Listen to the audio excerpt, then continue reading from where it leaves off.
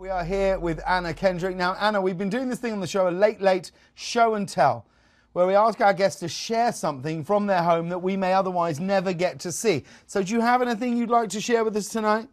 I do. I do. And I feel like I've been waiting for this opportunity because this item is specifically something that I kept on display in my living room for six years, waiting for somebody to ask me about it so that I could like flex a little Right. bit.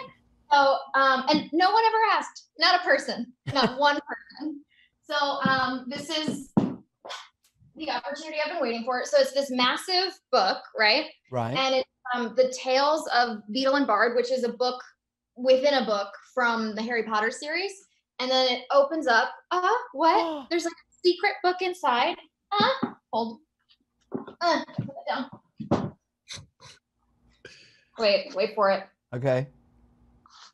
So it's like this fancy actual copy of Beedle and Bard. And then for my birthday, oh. like 10 years ago, everybody that I knew pulled every string they had and got it signed by J.K. Rowling. wow. I want to tell people about it all the time. And I had it like fully like in prominent display in my living room, waiting for pe- like floods of people to ask me about it so that I could flex. Should I tell you why no one asked you about it? Because the big book just looks like something you buy in a gift store at Universal Studios. You're not wrong, Jay. So you need the only way to do it is to display it open in some sort of glass cabinet. yeah. yeah, yeah, yeah. Like the Book of Kells. Yes, because up until on that moment. Yeah, yeah. up until that moment, it's nothing to really ask about. But everyone will now. James, you always keep it real with me, and I appreciate it. But thank you for sharing that. What an incredible thing.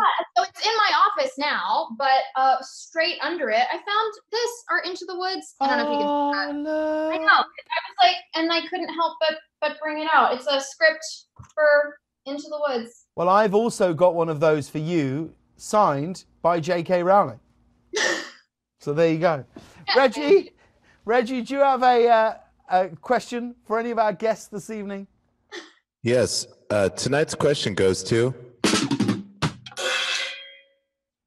uh, Miss Kendrick. All right, get ready for tonight's hottest question. So you're in a you're in a house, you're in a room, and the room is dimly lit. There's a door uh, in the room that you've never been through, but you see a subtle glowing light underneath it. If you were to go to that door and open it, what do you think you would find?